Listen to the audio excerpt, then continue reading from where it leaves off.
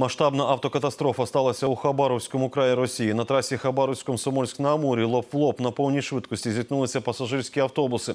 За даними МНС Росії, у ДТП загинуло 15 людей. Стан ще трьох пасажирів вкрай важкий. Загалом госпіталізовано кілька десятків людей. Попередня причина аварії виїзд одного з автобусів на зустрічну смугу та перевищення швидкості. Обидва водії вижили, вони були тверезими. За останні дні це вже не перше серйозне ДТП у регіонах Росії. Кілька днів тому біля Омська після зіткнення автобуса із вантажівкою загинуло 16 людей. Минулого тижня аварія під Красноярськом коштувала життя 11 пасажирам, а у Чечні у ДТП загинуло 10 чоловік.